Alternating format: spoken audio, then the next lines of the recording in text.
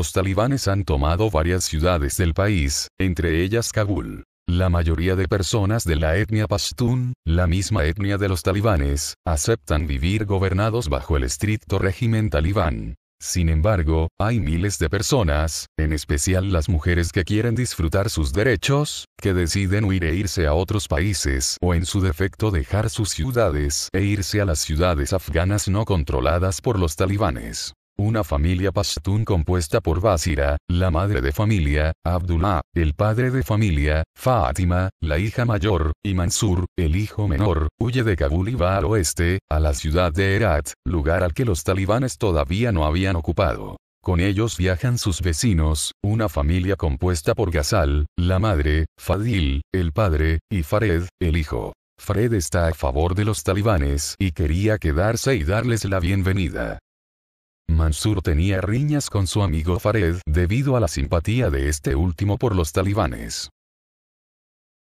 En esa región habitan principalmente otra minoría étnica, los Aymak, aunque también habían desplazados Pashtun, así como de otras etnias. En ese clima hostil, Fátima, Mansur y Fared conocen a un grupo variopinto de niños. Conocen primeramente a Zaira, una preadolescente de unos 11 años, y a Tahira, una niña de unos 10 años, ambas Aimak. También conocen a Hamasa, una adolescente de unos 17 años, a Hamid, un joven de rasgos orientales, a Idris, un niño de unos 9 años, y a Nader, hermano menor de Idris, un infante de unos 3 años. Estos cuatro de la etnia Azara. Por último, conocen a Lailuma, una preadolescente de unos 12 años de la etnia Nuristani.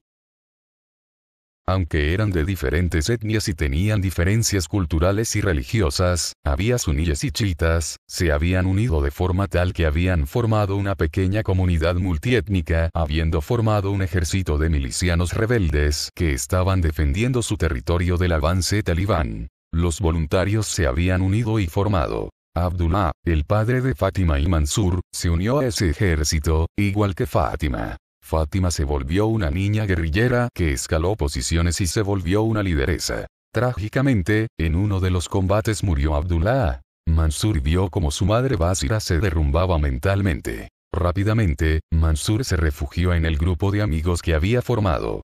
Hamid es el líder del grupo ya que es el mayor. Está de novio con Hamasa y ambos están al cuidado de los chicos, en especial de los más chicos. ¿Quién dijo que en tiempos de guerra no hay tiempo para el amor? Volviendo a Mansur, a pesar de la profunda tristeza que tenía por la pérdida de su padre, él no se desanimó. Es más, se hizo muy amigo de la Iluma. Ambos no solo se caían muy bien, sino que se gustaban mutuamente. Por su parte, a Fred le gustaba Tajira, pero Tajira no solo no pensaba en cosas de enamoramiento, sino que Fred le desagradaba profundamente debido a su inclinación pro-talibán. Fue cuando, en un bombardeo, los chicos huyen de la ciudad y se refugiaron en la montaña. Una gran mayoría de civiles murió, incluyendo a Basira, Ghazal y Fadil. Unos dos días después, Fátima, la hermana mayor de Mansur, murió en un combate junto a la mayoría de insurrectos, antes de que Herat cayera bajo control talibán. En tanto, Mansur, Fared, Zaira, Tajira, Hamasa, Hamid, Idris, Nader y Lailuma anduvieron errantes por la montaña, buscando alimentos. En eso, subiendo la montaña, se topan con una mujer que estaba parada en la entrada de una cueva. La mujer les ofrece ingresar a la comida y comer, señalando al interior de la cueva. Los chicos ven que dentro de la cueva había una mesa cubierta con un finísimo manto de seda bordado con hilamentos de oro y en ella había varios platos típicos de la gastronomía afgana. Los chicos ingresaron a tropel y se sentaron a comer. Comieron hasta sentirse saciados. Ellos le agradecieron la hospitalidad a la mujer, quien vestía un largo vestido que le cubría el cuerpo. Los chicos se despiden de ella y se van a su guarida muy cerca de la cueva. Al día siguiente, ellos regresaron a la cueva. La extraña, pero misericordiosa mujer les vuelve a ofrecer comida. Mientras ellos comen gustosos, ella dice que se llama Farsiris y que es una mujer pashtun y que es vidente y bruja y que por sus prácticas tuvo que huir. Es cuando Fred le dijo a Farsiris que cuando los talibanes se hagan con el poder, la matarán a ella. Fred además dijo refiriéndose a Zaira, Tajira, Hamasa y a la Iluma que por ser chicas de etnias no pashtun, serán sometidas y violentadas. Antes de irse, Farsiris le dijo a Mansur que se cuide de Fared, ya que él le avisará a los talibanes sobre ellos y ella para que las vean y se apoderen de las chicas. Después vieron a un o cinco talibanes, y aunque se escondieron Fared se fue corriendo hasta que llegó a donde ellos y dio aviso de que habían mujeres. Los talibanes fueron hacia el grupo de niños y los capturaron. Hamid e Idris fueron maniatados y dispuestos para ser ejecutados luego, junto con Nader. Zaira, Tajira, Hamasa y Lailuma fueron maniatadas, para prontamente ser abusadas. Fred rogó a los talibanes de que en recompensa le den a Tajira y le dijeron que sí, que era su recompensa por haberles brindado mujeres.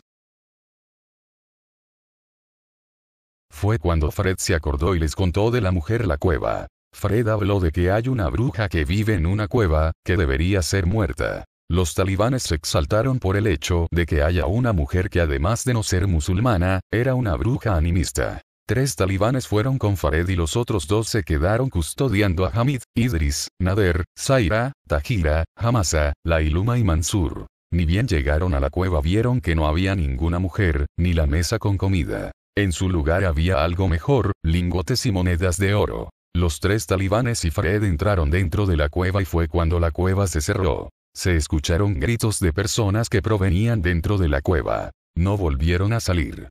Pasaron unos 30 segundos. Fue cuando se abrió la cueva. De su interior no había rastros de ninguno de las cuatro personas que entraron, sino que en su lugar salió un ser horrible. Era un ser monstruoso alado, cuyas alas eran de murciélago. La cara era de una horrenda mujer. Este ser voló desde el interior de la cueva y en cuestión de segundos llegó hasta donde estaban los demás chicos y los dos talibanes.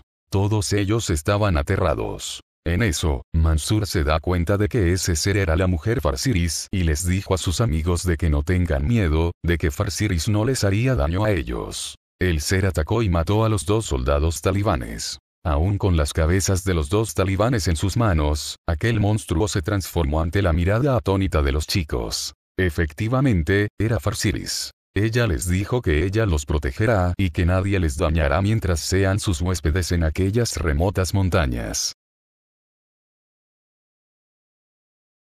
Esta historia me la mandó el joven Abdurrahman, natural precisamente de Afganistán, quien pudo escapar de dicho país y que vive en Estados Unidos junto a su familia.